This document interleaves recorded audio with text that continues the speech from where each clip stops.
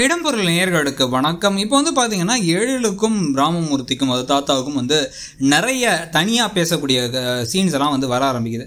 அது வந்து முதல்ல வந்து அப்பா இப்படி தப்பு பண்ணுறாரு நான் திருப்பி அவரை பார்த்தேன் அப்படின்னு சொல்லி அழுத ஏழில் அழுதும் போதாகட்டும்.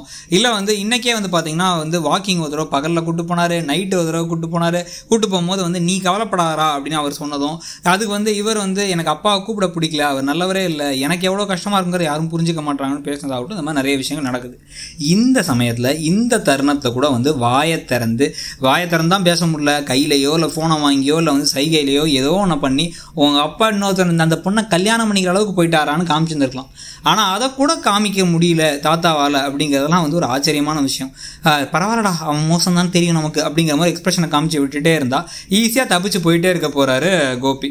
அதுக்கு பதிலாக தாத்தா செய்ய வேண்டிய காரியம் ஏதோ ஒரு ஹிண்டை கொடுத்து ராதிகானோ இல்லை வந்து அப்பா இன்னொரு கல்யாணம் பண்ணிக்க போகிறாரோ சொன்னால் மட்டும்தான் வெறித்தனமாக வந்து எழில் வந்து அவரோட அடுத்த பட வேலையை ஒரு பாதியில் வச்சுக்கிட்டு இந்த பக்கம் வந்து அவங்க அப்பா யாருங்கிறத கண்டுபிடிச்சு முதல்ல அந்த சைடில் வந்து அந்த பிரச்சனையை சரி பண்ண வச்சு செய்யலாம்.